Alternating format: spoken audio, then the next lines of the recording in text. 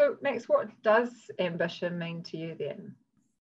I was thinking about that a little bit this morning.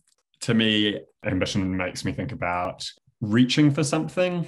And also, it makes me think about scale and something to do with moving towards a greater scale. And it's quite abstract. There are also lots of pictures in my head, probably planted from stories about ambitious individuals. Do you think ambition should be or could be anything other than individual? Can it be collective as well? Yeah, definitely. And yeah, I was keen to to talk to you about that. A few years ago, I was in a discussion, and a friend of mine in the UK, Barnaby Raine, talked about reclaiming ambition as a collective ideal.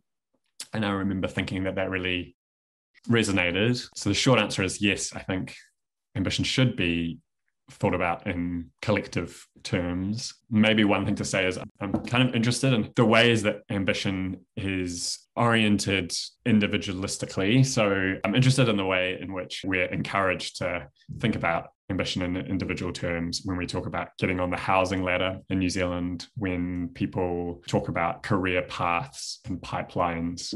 And one thing I'm interested in is whether in the last 30 to 40 years, there's been greater use of that individualized ambition narrative. And I suppose what excites me, even though definitely I've found myself thinking in those terms in the past, is thinking about reclaiming ambition as a collective ideal. Different kinds of collectives and groups working in teams to achieve things and where that's been done in the past. And I guess one agent for that kind of ambition is government. And it makes me think about free public services, universal basic services as one way of achieving those kinds of broader collective goals. So, when you think about this word ambition, do you think of yourself as ambitious? I think in the past I've been driven to try to achieve certain things. And I actually feel like I have a different kind of drive now than I might have had when I was younger. And that's for like a lot of reasons. So, yeah, I would like to think I'm kind of ambitious for doing things with other people, but I probably now mostly see ambition as a word that's tinged with negative things. I probably shirk from wanting to be ambitious or to see myself as ambitious. Are you comfortable sharing any of the reasons why that changed for you? At school, probably some people had some motivation to achieve academically that I didn't really understand the origins of. It was like something that I just kind of stuck my head into and put my head down and worked hard. It also had lots of advantages through family and teachers and other things. And I think that in part led to people encouraging me to do certain things and planting in my head certain ideas about what I could study and where I could study and what I could be. And as a side note, I think it's also interesting to think about how gender and ethnicity and class and other factors all play into how ambition is inculcated in people. I think I was sort of nudged and encouraged and directed in this way. And yeah, definitely planted in me some goals about what I wanted to study and to do and to achieve.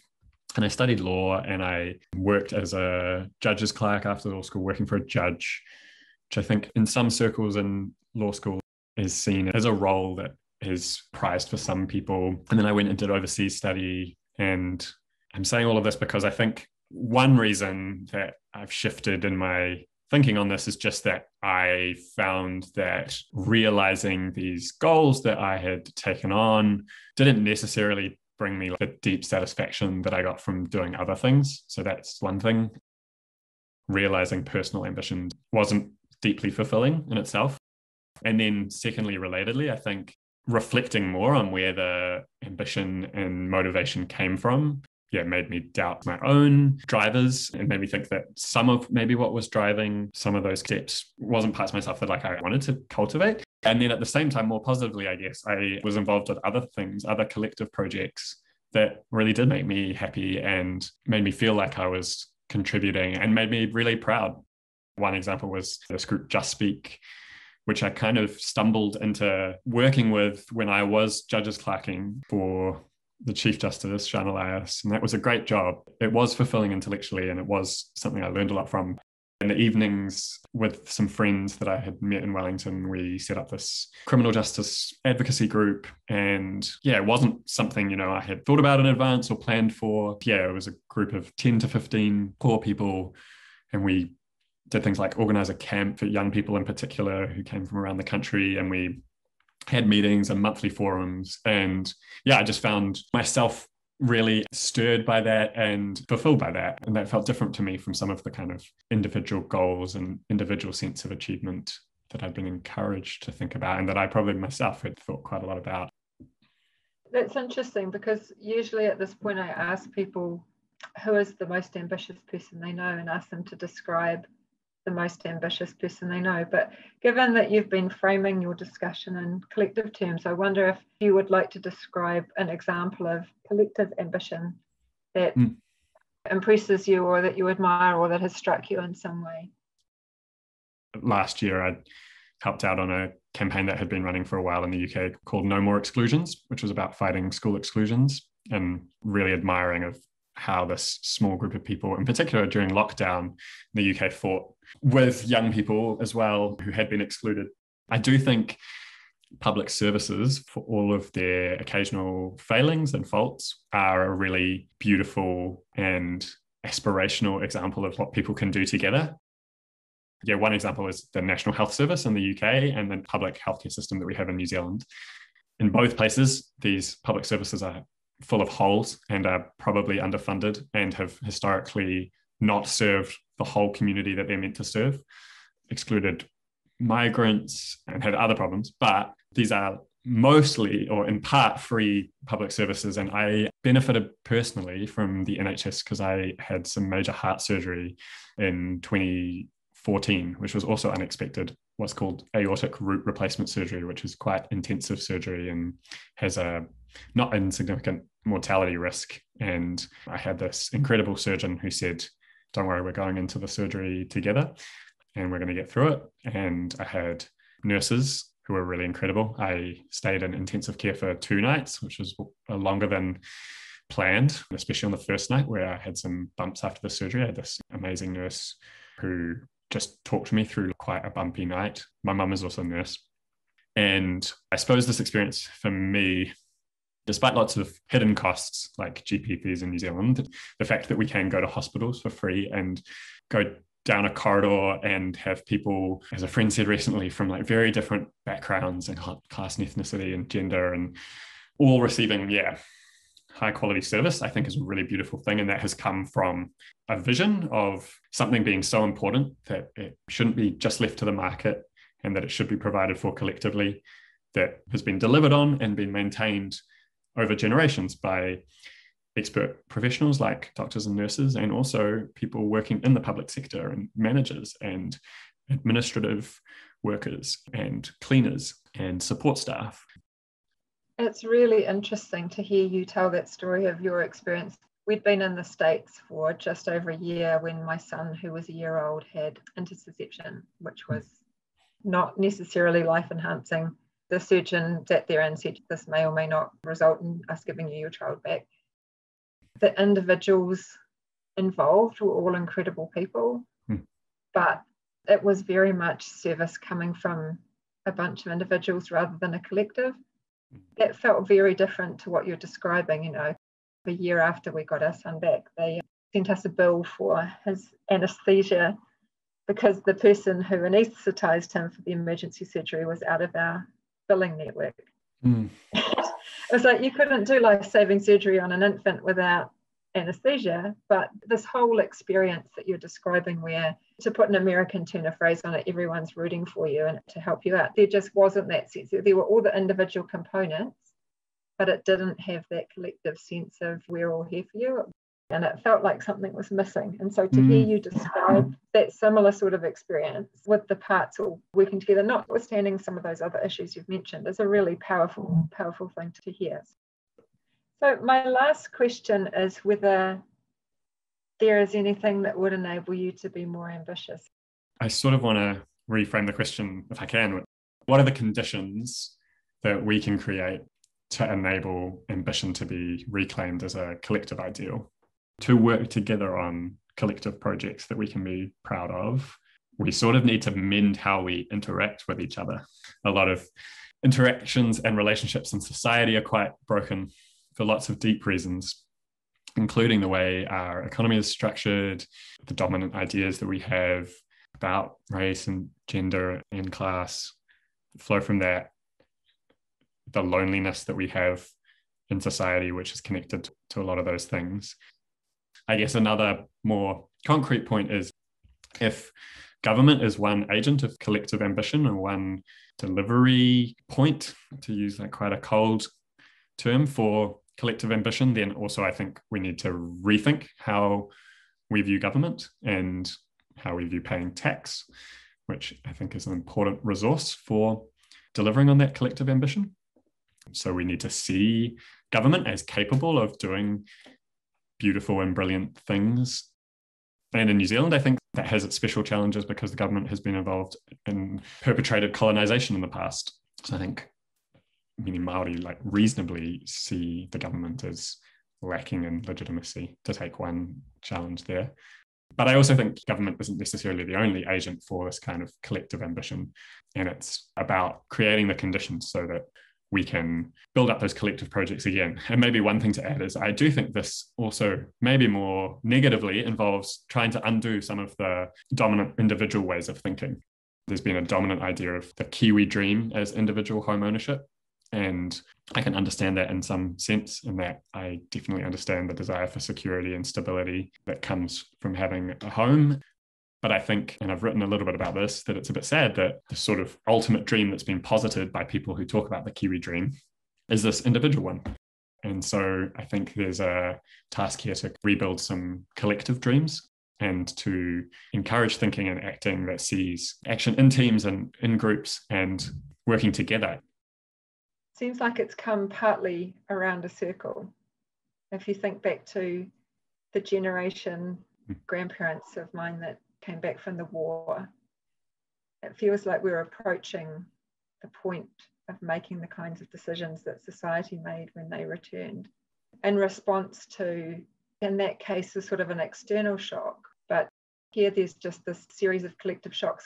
We're just running up to the point where our individual solutions are clearly not working. In the same way that people just said, look, we need to do something different here. I think we're coming up on that realization, particularly if you look at the housing story. There is no answer to that. There's no way that leads to an outcome that any of us want collectively. You know, we don't want to end up with people living in cars and trailer parks. We are at the point where people who own houses don't want the prices of their houses to fall, but also there's this growing recognition from wider society that there's something bigger here that is more important than that. It's an uncomfortable transition to move from we're all responsible for ourselves So actually we're all responsible for each other yeah, exactly. Someone who I worked for in the UK, John McDonnell, after the pandemic actually talked about how looking back now, at least in the UK, he was thinking, but I think this also applies to New Zealand, can think of a kind of like post war social and political order from, say, the 1940s to the 1970s, 30 to 40 years of a certain kind of settlement, which wasn't perfect in lots of ways and shouldn't be romanticized, but did involve some collective projects and public services. And then he talked about 1980s to now, which is another 30 to 40 year period, where, as you say, you know, there's been the kind of rise of values that focus on personal responsibility, people being left to fend for themselves, and it doesn't necessarily mean just reaching back for what came before. And yes, yeah, sometimes when there's talk of new public services, universal public services and public ownership, one knee jerk reaction is to say, oh, that's going back to the 1970s.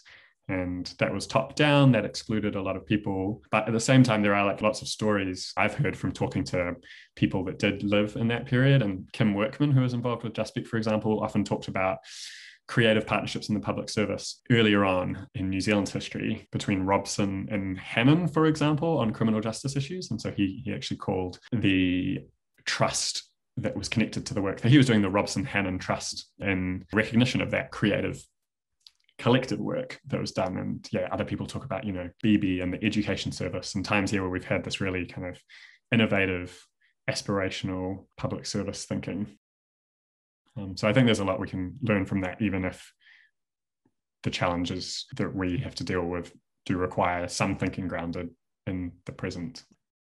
I think there's quite a lot of talk at the moment about young people having all the answers, say on climate change. And I think there's like huge energy and impatience and vision from like lots of young people. But to me, like, yeah, a lot, a lot of the exciting and like effective projects I've been involved with have been kind of intergenerational partnerships mm-hmm. and like with Just Speak, which had kind of Kim Workman, who was older, and then a bunch of us who were younger. And as you say, people filling gaps in each other's knowledge and experience. Stuff gets forgotten, I think, is the efficient way of saying it. Mm. You know, we design things for what we know. And then someone who's been through it before can say, well, the reason that it evolved this way is because of this particular thing that is not at the forefront of your mind because you haven't seen it. But when we did it last time, this is why we did it this particular way. And so those voices of experience are hugely valuable. Totally. Because people know things that they've gained through experience that someone looking at something and going, oh, I know how to fix this. Theory and experience are both different skills to bring to the table. You know, having worked in the UK public sector as well as in New Zealand, there's this tendency for the bright stars to be encouraged to move on after two years and point themselves at anything and everything rather than invest in depth. Mm, totally. And there's a huge value in that and mm. in having smart people look at something with fresh eyes. But there's also huge value in lived experience, engagement, relationships, knowing where and what has been tried before why it did and didn't work, and that some of those cultural factors within public sectors erode that as well. And I'm not sure anyone has an answer to that. I mean, I think it's one of the reasons why I kind of ended up consulting so I could specialize mm-hmm. and go deep in stuff because I watched people who I was very impressed by kind of go into these roles. I was like, how can you speak in public to the media on such a broad range of stuff? How can you how can you feel confident across all of that subject matter? Because I only ever felt confident across subject matter if I knew it intimately. And mm. there were mm. obviously people with skill sets where they could kind of consolidate bits of it and still present publicly. But I never felt confident doing that unless I really understood something deeply. So for me, putting myself in a situation where I could continue to focus on a small number of issues and do that over a lengthy period for a long time that just kind of got me past that particular thing that was becoming a roadblock for me. Just found myself wanting depth rather than speed. I guess getting to the place of like integrity where you know what you can speak on and you know the limits of what you can speak on and and you know something really. Yeah, that's a really good word for it actually. The ability to actually wing it versus truly be grounded in your knowledge and to know. no, exactly. Yeah. And I think one other thought on that is like, yeah, I think in law, dunking yourself into something quickly and becoming a quick expert is really valued as well, just as it is, I think, in consulting, yeah. some kinds of management consulting, maybe.